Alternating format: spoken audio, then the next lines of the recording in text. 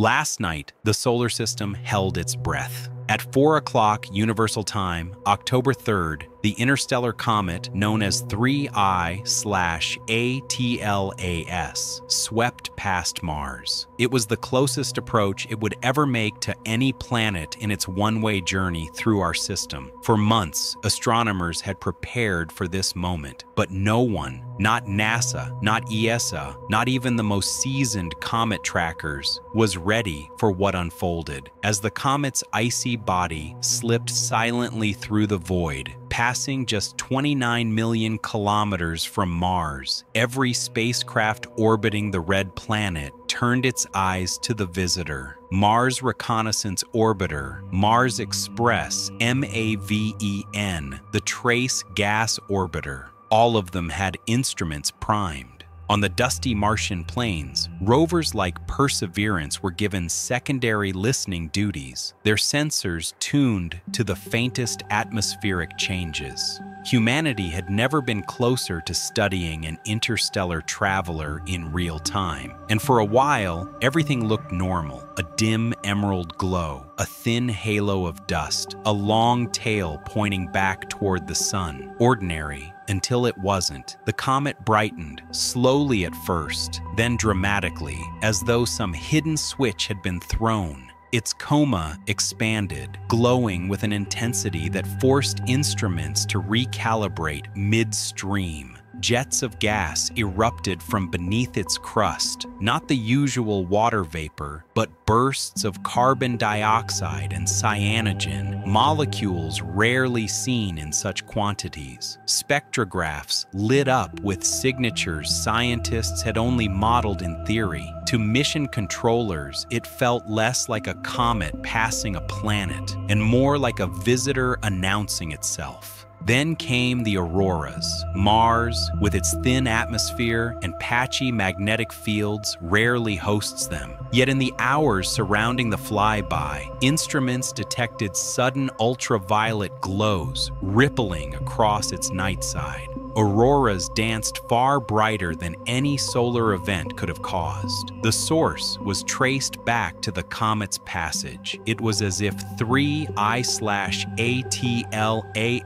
had brushed against the planet's atmosphere and left it humming. But the real shock came minutes later. Fragments began to break away from the comet's nucleus. HiRISE, orbiting high above Mars, caught the shimmering shards as they spiraled off. But instead of drifting in simple ballistic arcs, the fragments twisted, coiling in patterns no cometary breakup had ever produced. Some scientists described it as spiral shedding, others as coordinated drift. The more superstitious muttered a word most astronomers avoid guided. Almost immediately, the Trace Gas Orbiter picked up another anomaly, a sudden spike in methane in Mars' upper atmosphere. For decades, methane had been the planet's great riddle, appearing in strange, fleeting bursts, then vanishing without a trace. But this time, the methane surge was undeniable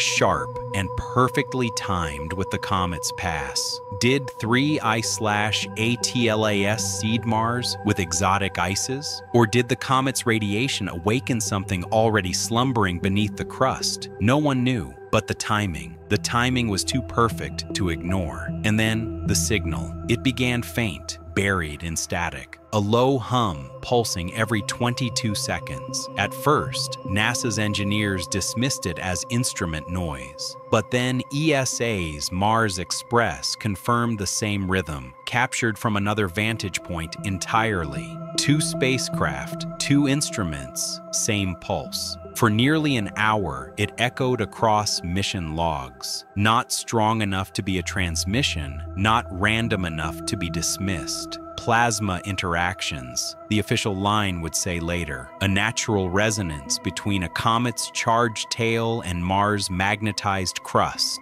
But in mission control rooms, whispers began. What if it wasn't natural? Meanwhile, amateur astronomers back on Earth captured their own pieces of the puzzle. The comet's glow intensified emerald green in long exposure photographs. Normally, that glow comes from diatomic carbon, molecules energized by sunlight, but observers noted the brightness had nearly doubled after the Mars flyby, as though the comet had absorbed something from the encounter and was now burning hotter, brighter, and stranger. Speculation spread like wildfire. Some believed the comet carried interstellar organics, now mingling with Mars's atmosphere. Others suggested its spiral fragments hinted at an internal magnetic field, something comets should not have. And the boldest theory that the rhythmic pulses and strange debris patterns were the fingerprints of an engineered object, not a natural wanderer. NASA and ESA scrambled to keep the story scientific. Press releases spoke of unusual chemistry, outgassing events, and unmodeled plasma interactions. But behind closed doors, researchers debated darker possibilities. Was this truly a comet or something more?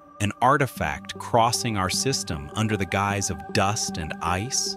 For the rovers on Mars, the encounter was silent but visible. Perseverance's sky cameras logged the faint glow overhead, Curiosity's radiation sensors picked up microbursts of charged particles. Even InSight's seismometer, though long dormant, recorded unusual electromagnetic noise, later traced back to the comet's flyby. Every machine on Mars, it seemed, felt the visitor pass. Now the world waits for what comes next. 3I slash ATLAS continues its journey inward heading toward its closest approach to the Sun on October 29th. If it already behaves so strangely near Mars, what might happen as it enters the furnace of the inner system? Will it fragment spectacularly, scattering alien dust across the solar winds? Or will it hold together, its green banner growing brighter as it races toward Earth's orbital path in December? The possibilities are both thrilling and terrifying. In one scenario, the comet breaks apart harmlessly, leaving only data and dust. In another, large fragments linger in the inner solar system, crossing orbits with Mars and perhaps, years later, Earth. And in the most unsettling theory of all,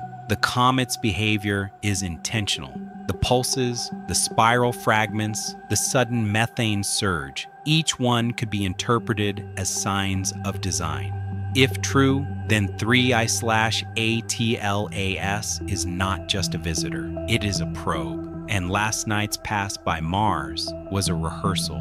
Imagine standing on the Martian surface during that moment, the night sky painted green by a comet's glow, auroras shimmering where none should be, Above, fragments spiraling like controlled satellites, while the thin atmosphere trembles with invisible pulses. For the rovers, for the orbiters, for the human eyes watching from Earth, it was like glimpsing a secret written into the stars, only for a heartbeat. Today, every major observatory on Earth is locked onto the comet. The James Webb Space Telescope waits for a clear view after solar conjunction.